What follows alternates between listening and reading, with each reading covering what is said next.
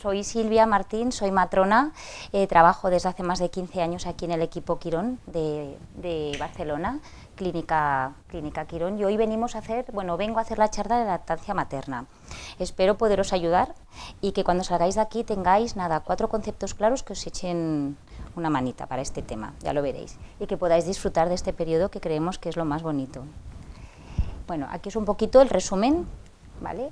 ¿Qué beneficios encontramos con la lactancia materna? Porque las matronas y todo el personal sanitario os decimos que sobre todo lo más importante es que le deis pecho. Bueno, ¿qué nos dice la OMS? Nos dice que la alimentación exclusiva eh, con leche materna se recomienda hasta los seis meses, solo leche, leche de la madre, no necesita nada más. Y hasta los dos años ahí empezaremos a introducir alimentación complementaria, leche, junto con los dos años. ¿Qué beneficios le vamos a ofrecer al bebé con la lactancia? Bueno, cubre totalmente las necesidades nutricionales de este bebé, le protegerá de las enfermedades, le vamos a pasar defensas, favorece el correcto desarrollo tanto físico como cognitivo, asegura desde el punto de vista emocional un buen establecimiento del apego, del vínculo madre-hijo, disminuye el riesgo de obesidad cuando el bebé sea más grande y también la probabilidad de que sufra eh, diabetes cuando sea adulto. ¿Qué nos beneficia a las mamás? Bueno, pues disminuye sobre todo el riesgo de posparto, el, perdón, el riesgo de hemorragia posparto, nos disminuye el riesgo de algunas enfermedades como el cáncer de ovario, de endometrio y algún tipo de cáncer de mama, ayuda a recuperar el peso ganado durante el embarazo y sobre todo permite disfrutar de una única e íntima relación con tu hijo en ese, en ese ratito de la lactancia. ¿Qué es la subida de la leche? Bueno, pues es un proceso natural cuando el recién nacido, como el recién nacido, cuando nosotros cuando empezamos a quedarnos, cuando nos quedamos embarazadas, estamos ya preparándonos para dar pecho. Ya empezamos a tener calostro desde el segundo trimestre de embarazo. O sea que el tener o no tener leche ya es incuestionable. Tendremos, tenemos leche y la tendremos. Y es el mejor alimento, es lo mejor que le vas a poder dar a tu bebé. ¿Por qué? Pues porque está preparado totalmente para ese bebé tal como nace. No hay que preparar ni pecio en aureola, no necesitamos ninguna preparación.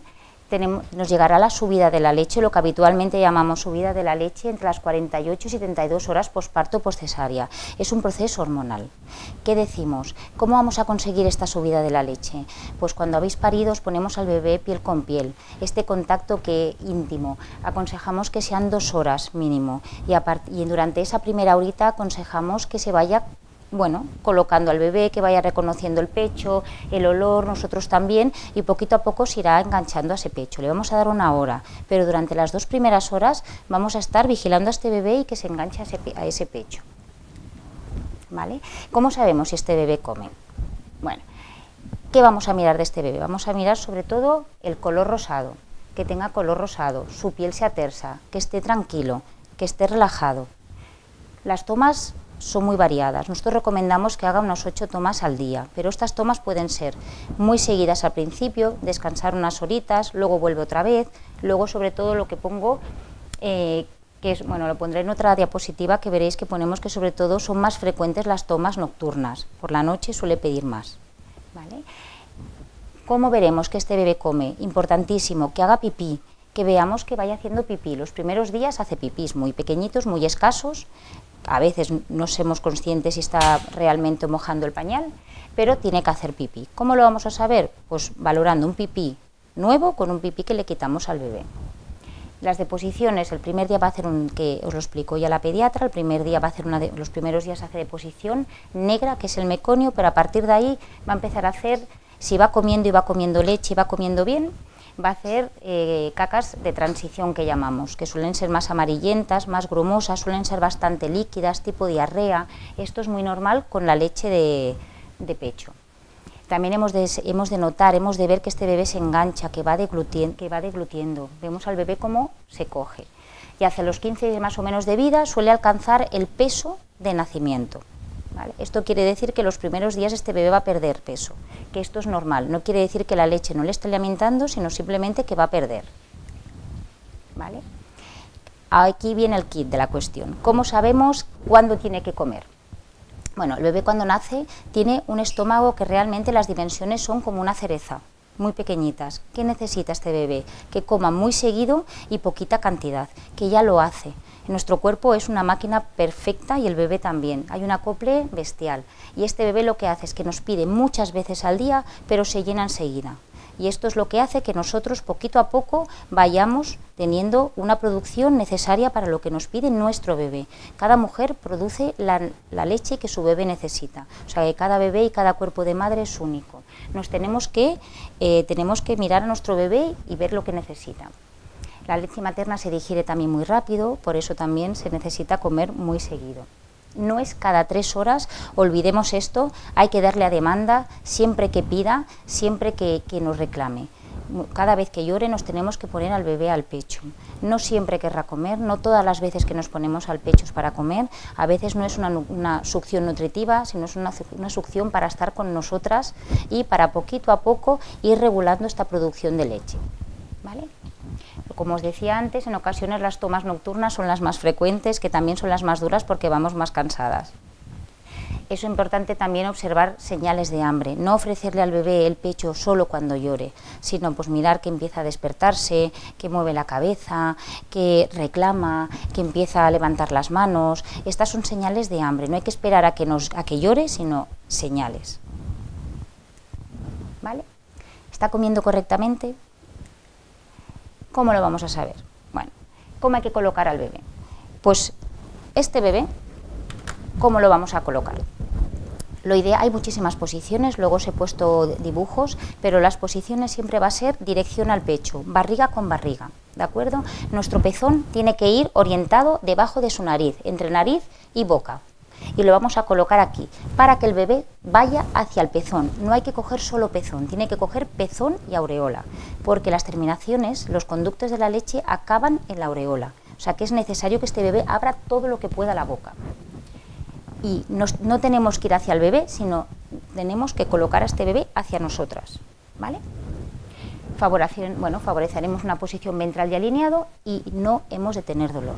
Los primeros días es normal que tengáis dolor, molestia, pensar que es un órgano muy sensible, que no está acostumbrado a que lo estemos utilizando a demanda y bueno, y como no hay que prepararlo, se va a preparar a medida que este bebé nos vaya reclamando. También, como veréis, eh, vuestro pezón y aureola se ha teñido durante el embarazo de un color mucho más oscuro. Los bebés cuando nacen ven colores negros o blancos o colores destellantes. Entonces, este bebé, este bebé ¿qué ve? Este pezón, pezón negro. Por eso el bebé va hacia este pezón. Aparte también vamos a ver que tenemos unas cositas aquí que parecen unos bultitos, se llaman glándulas de Montgomery, que lo que hacen aparte de segregar y lubricar la, aureola, están dando un olor especial para que el bebé sepa hacia dónde tiene que, que ir. Vale. ¿Cómo sabremos que el bebé hace un buen agarre los primeros días, que es cuando estamos más perdidas, que es cuando no sabemos si el bebé está comiendo bien y se está bien agarrando? ¿Cómo lo vamos a hacer? Lo que os contaba. Nos vamos a colocar siempre nosotras cómodas. El bebé barriga con barriga. ¿Vale? Pezón orientado a su nariz, debajo de su nariz. No le vamos a ofrecer al pezón, sino que lo vamos a orientar hacia debajo de, la nariz y que el bebé vaya hacia ese pezón, que tire, que suba la cabecita. No lo vamos a poner en, el codo, sino en el antebrazo y lo vamos a agarrar por la espalda, ¿vale? Y nos lo vamos a llevar hacia nosotros. Nunca hacia adelante y nunca aquí en el codo. Si lo ponemos en el codo, este bebé no va a poder mover esta cabeza y hacer el movimiento de deglución. ¿vale? No podemos oír ruidos del bebé, no podemos oír estos ruidos de y ver cómo, está, cómo los mofletes no están redondeados. Si vemos que los mofletes se le, se le colocan hacia adentro, quiere decir que no está bien colocado. A este bebé hay que colocar un dedito, nuestro dedito en la comisura de la boca, abrírsela, separarlo y volver a colocarlo otra vez. ¿De acuerdo?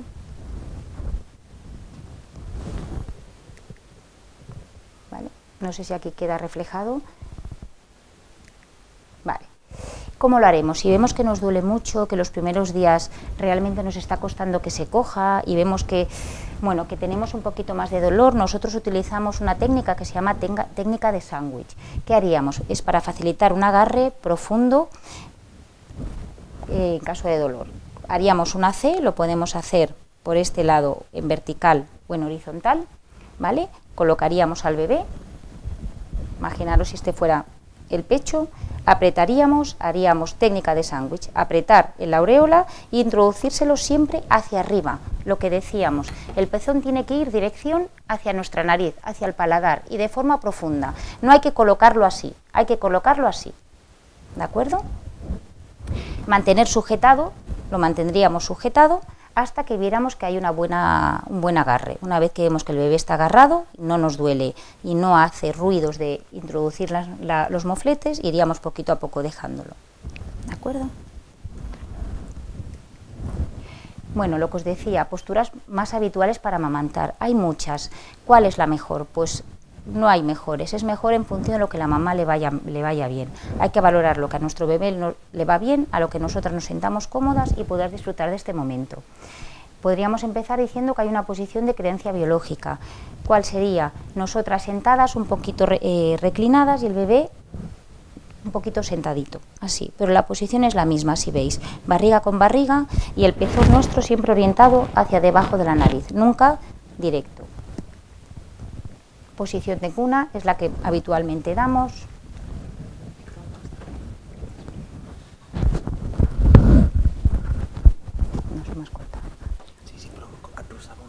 Ah, vale.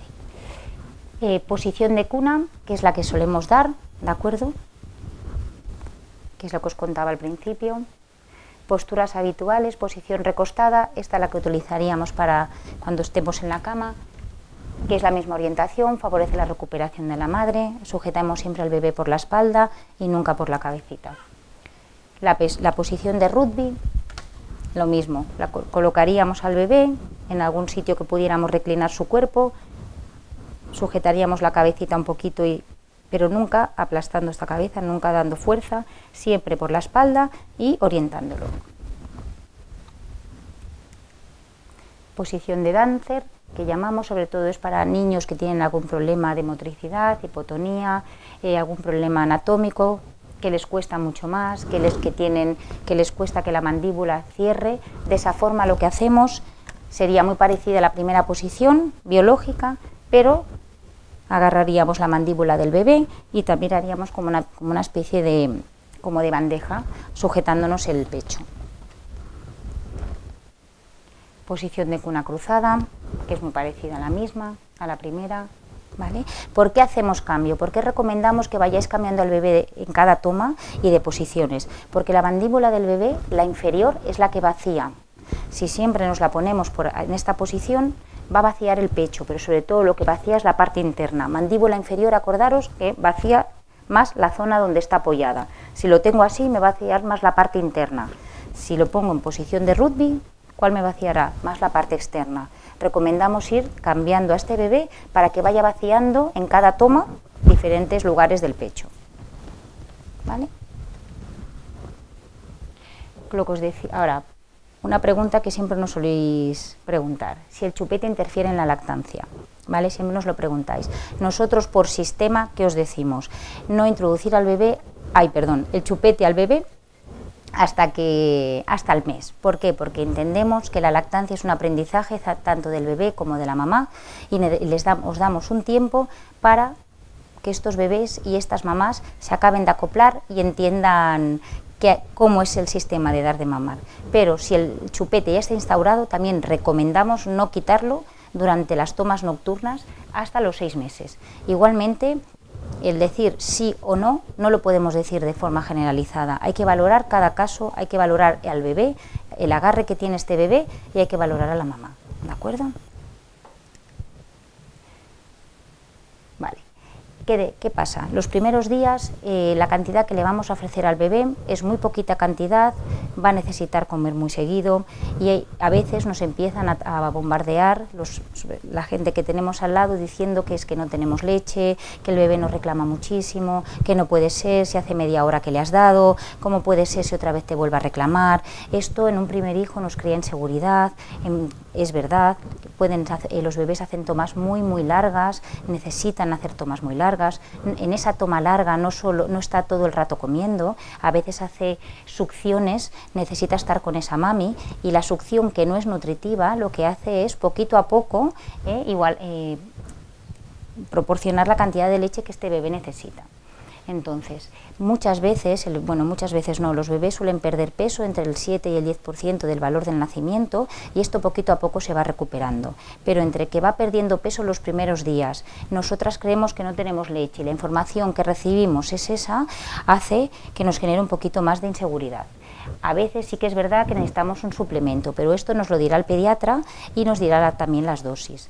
¿Cómo lo haremos? Siempre que tenemos que dar un suplemento recomendamos que ese suplemento sea de la propia leche materna, que hagamos una, estimulación. se puede hacer la estimulación manual o con un sacaleches, pero recomendamos, recomendamos sobre todo que la estimulación sea manual. ¿De acuerdo? Y la cantidad de leche que sacamos recomendamos no darla en biberón, sino darla en, bueno, podemos hacerle, hacerlo en un finger fin que es dedo jeringa colocaríamos, colocaríamos al bebé lo más incorporado, que pudiéramos, un dedito nuestro, siempre habría que colocarlo en la boca y siempre subiendo hacia el paladar profundo, iríamos introduciendo esa leche poquito a poco, pero siempre cuando el bebé succione. También podríamos, para hacer la extracción manual, ¿cómo lo haríamos? Bueno, lo que es lavado de manos, siempre lavado de manos, masaje previo en este pecho, hay que ir haciendo un masaje, Colocar los dedos en las costillas, hacia esta zona de aquí, ¿de acuerdo? Y entre 3 y 5 minutos por pecho e ir alternando, antes de luego poder hacer una extracción manual. Podemos hacer, si no queremos hacer extracción manual, podemos utilizar los sacaleches.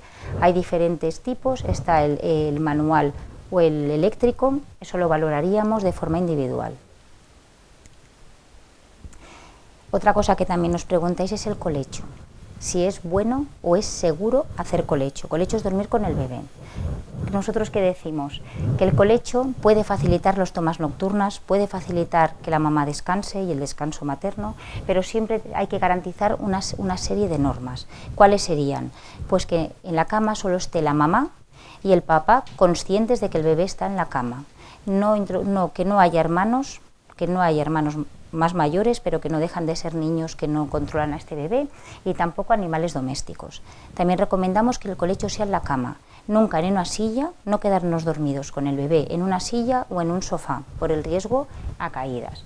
También recomendamos que estos bebés que van a dormir con, los papás que van a dormir con el bebé, que no tengan ninguna patología, que no tengan una obesidad mórbida, que no fumen, que no beban alcohol, ni que tomen ansiolíticos que pueden bajar un poquito la conciencia por la noche.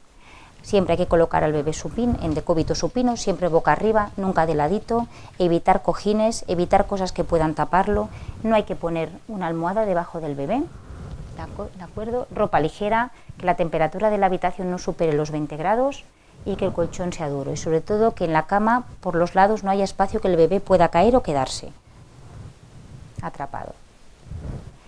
¿Qué haríamos en caso de dificultades? Nosotros aquí en el Hospital Quirón, pero si preguntáis en los hospitales, siempre hay, talleres de lactancia. Aquí los hacemos los jueves de once y media a, una y media. No tenéis que apuntaros, podéis venir sin cita previa.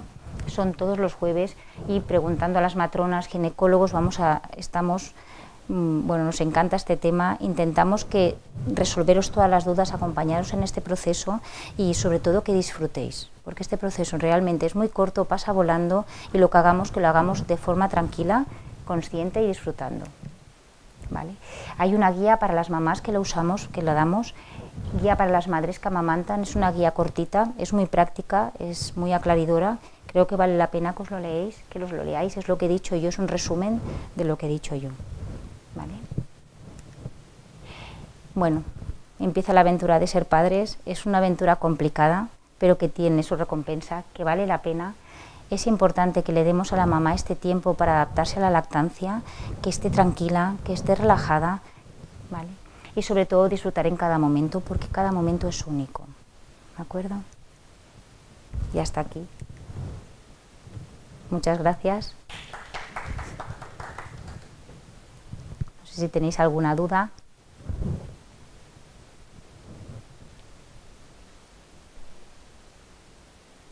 Vale, mirar, me eh, bueno, Esther pregunta que tengo el pezón muy pequeño, si podrá dar el pecho en condiciones, si hay inconvenientes.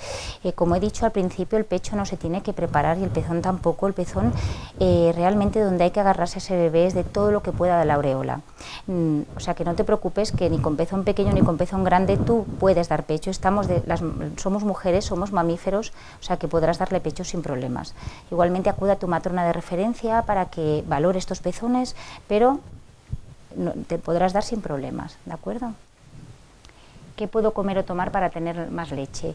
Estos son mitos, no existen pastillas, no existen infusiones, no existe nada, ni, ni alimentos, ni, ni trigo sin bueno, ni cerveza sin alcohol, que nos dicen, ni comer muchas nueces, ni comer mm, nada de nada. Aquí lo único que sirve es ponerte al bebé muchas veces al pecho. Somos fábricas que vamos a producir la cantidad que tu bebé necesite. ¿Cómo lo vamos a saber? Poniendo a este bebé al pecho, es lo único. Cuanto más estimulemos, más cantidad de leche vamos a fabricar pero no más cantidad de la necesaria, sino la cantidad que tu bebé te está reclamando. O sea, que no, no hagas nada, ponte al bebé al pecho y a succionar todo lo que él reclame. Ah, el síndrome de inspiración me conía la información sobre esto. Eh, esto en principio no tiene nada que ver con la lactancia. Esto es algo que puede ocurrir en el momento del parto y supongo que lo habrá explicado la pediatra. Eh, porque hay mujeres que no tienen leche bueno, esto habría que valorar que, por qué no hay leche, qué cantidad tiene, quién le ha dicho que no tiene leche. Eh, el problema es que muchas veces los satélites que tenemos al lado los primeros días, que acabamos de parir, que estamos más vulnerables, más cansadas, que realmente estamos empezando con, este, con esta lactancia que es más complicada, si nos van diciendo que este bebé nos reclama mucho, que hay que darle cada tres horas, que no puede ser porque si me la acabo de poner y lleva succionando una hora, ¿cómo puede ser que en menos de 20 minutos me vuelva a pedir? Si todo esto nos van diciendo, esto genera al final que nos creamos que no tenemos leche, pero claro que tenemos leche. Ya os he comentado que desde el segundo trimestre tenemos calostro, es la mejor alimentación que le vais a poder dar a vuestro bebé. Pensar que el calostro es lo que el bebé necesita en ese momento. No necesitas mucha cantidad, sino muchas veces y poquita cantidad. ¿De acuerdo? Eso de que no hay, sí que es verdad que hay mujeres que podrían, podríamos llegar a ver que no tienen leche, pero hay patología de base. Esa patología se valora en el momento que Vemos a la mamá, vemos el agarre del bebé, puede haber una patología como un tiroides, puede haber habido una hemorragia importante en el parto y cuesta mucho más que suba esa leche, en obesidades importantes también puede costar un poquito más, pero eso no quiere decir que no vayamos a poder dar leche, sino que hay que trabajar más y estar más encima de esa mamá, bueno, de esos papás y animarlos más. Hola, en cada toma hay que amamantar de un solo pecho. No, eh, mirar, hay que desterrar los 10 minutos que nos decían antes en cada pecho, los 20 minutos que nos decían, que solo un pecho, que en cada toma los dos. Hay que desterrar todo eso. ¿Qué hay que hacer? Hay que valorar a mi bebé, ver las necesidades que tiene y ya está. Si en esa toma necesita que me lo necesita los dos pechos, yo se los ofrezco. Si solo necesita una toma, le ofreceré una toma. Puede ser que a primera hora de la mañana mi bebé tenga mucha hambre y necesite comer de los dos. Puede ser que en un ratito, como ya se ha saciado, solo necesita un poquito más y me reclamen solo un pecho y, y así voy haciendo. Al final quien los conocéis sois vosotras y vosotras sabréis si ese bebé necesita las dos, los dos pechos o no.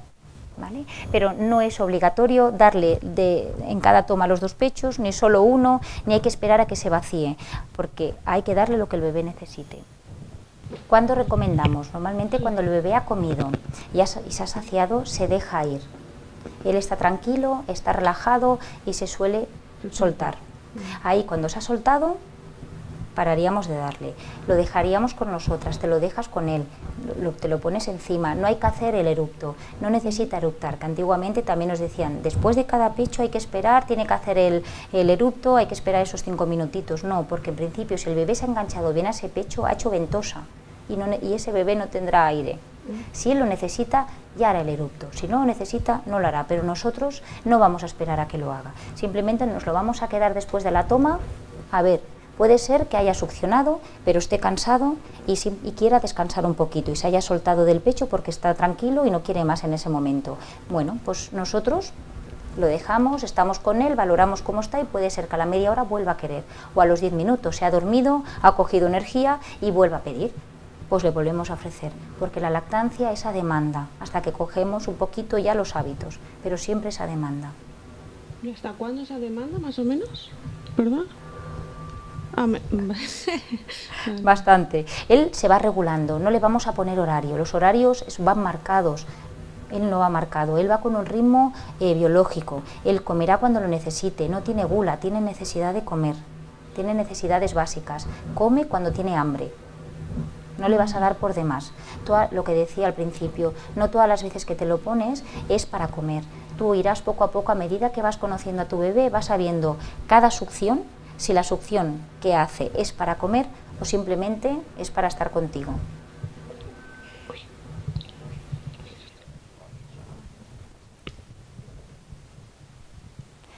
Ah, vale, nos preguntan si el bebé nos reclama, si hay que despertarle para darle y en qué momento. Bueno, las, eh, las últimas revisiones bibliográficas recomiendan que si un bebé nace a término, sin patología y está bien alimentado con lactancia materna, no necesitamos despertarlo cada tres horas, como antiguamente nos decían. Hay que valorar a este bebé, porque realmente sois los papás quien conocéis. ¿Qué vais a hacer? Vais a controlar a este bebé, puede hacer tomas muy seguidas al principio, a la primera hora del día, luego descansa unas horas, puede hacer tomas muy seguidas cada cuatro horas, descansar no, va a hacer, si tiene, si es un bebé, lo que decía, sin patología, no se va a quedar sin azúcar, que por eso decíamos antiguamente, o decían antiguamente, que había que despertarlo, no dejarlo pasar más de tres horas porque le bajaban los niveles de azúcar y podía hacer una hipoglucemia. Esto ya no está contemplado, solo se contemplan bebés con alguna patología. En la actualidad, bebés que nacen sin patología a término no necesitamos despertarlo, simplemente necesitamos valorar cuando nace. Eso sí, no tenemos que esperar a que lloren. Hay muchos signos que nos indican que este bebé empieza a despertarse, pues empieza a mover un poquito la cabeza, o, empieza a abrir la boca, o se estira, o empieza a hacer algún, algún ruidito. Ahí es cuando hay que ofrecerle el pecho. ¿Vale? Lo rechazará si no tiene hambre. A lo mejor solo quería abrazos o quería estar calentito o sentirse seguro. No siempre tienen hambre porque no comen por gula, comen por necesidad básica. ¿Vale? Bueno, pues hasta aquí llegó el taller de lactancia. Espero que os haya aclarado alguna duda o, a lo mejor os he puesto más dudas, pero que sepáis que estamos aquí para ayudaros, para lo que necesitéis y sobre todo contar con nosotros. Eh, aprovechar, es un momento único, la lactancia es dura los primeros días, es complicada, no conocemos a nuestro bebé, no nos conocemos como mamá lactantes, pero vale la pena, compensa y es bueno, el mejor alimento que le vamos a poder ofrecer a este bebé.